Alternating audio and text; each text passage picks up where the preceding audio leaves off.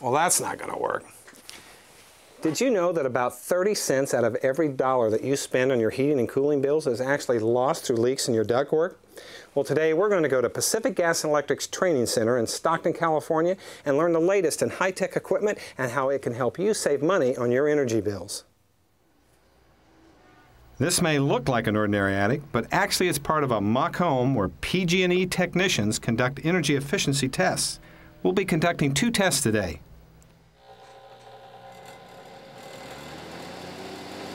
An air duct blaster to determine where leaks may be occurring throughout the ductwork in an air conditioning system.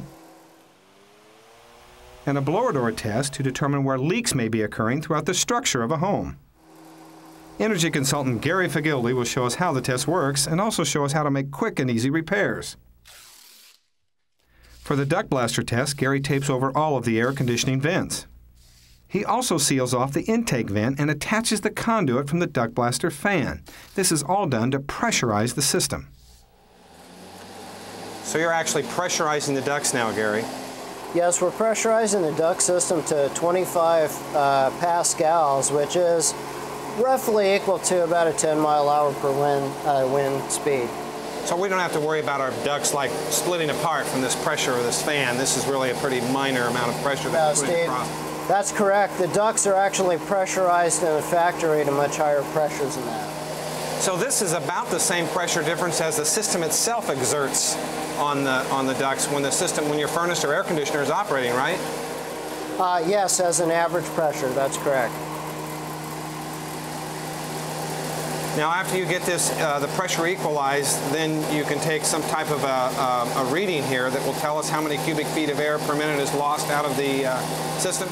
That's correct, and what we're going to do now is take that reading. So once we have the ducts pressurized to our standard test pressure,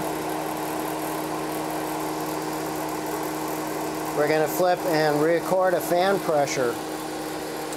And up here on our chart, our fan pressure of 106 with flow ring 1 tells us that our duct leakage is 404 cubic feet per minute. That's amazing because a normal system only puts out about 1,200, so that's over 30% of the system's capacity is just being lost through leaks in this that's correct, duct Steve. system. That's so you can actually open this up and we can actually feel and see where some of these leaks are at, right? Yes, we can. In fact, one of the most important leaks that you have in a system is the closest to the air handler itself because it's under the highest pressure.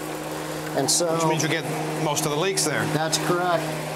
And we lose our most energy at the uh, highest pressure areas. And so now this is a smoke generator that actually puts yes. out smoke so we can see where the leaks are at? Yes, and if you watch, we're pressurizing the duct system and uh, the smoke and air will go towards the area of lower pressure. And so what you see is you see the smoke blowing at us, which means that we're losing tremendous amount of conditioned air here under normal operating conditions right at this point.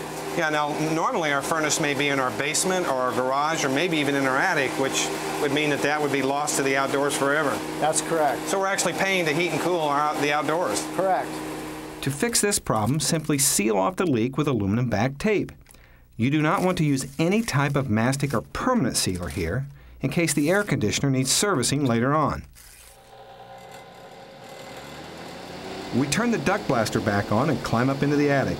Using the smoke generator, Gary quickly finds several leaks in the ductwork. This is a luxury that we normally don't have. Many times we can just feel with the back of our hand where leakage occurs. But here's a good example here where you see the smoke is blowing wildly off of the connection there. And this is actually the way the uh, Y, metal Y is formed right at this point we have a snap joint, and that snap joint, as you can see, is leaking. This problem is easily fixed as well. Seal the snap joint with mastic. Apply a liberal coat to all areas where the flexible ductwork comes in contact with the metal Y. One way you can tell if a duct is leaking is to simply look for any nearby insulation that's dark or discolored. If the duct is leaking, the insulation will act like an air filter and collect dirt. For the blower door test, Gary seals off an outside door and inserts a powerful fan that will be used to draw outside air into the home at a rate of 50 pascals, which is equivalent to a 20 mile per hour wind.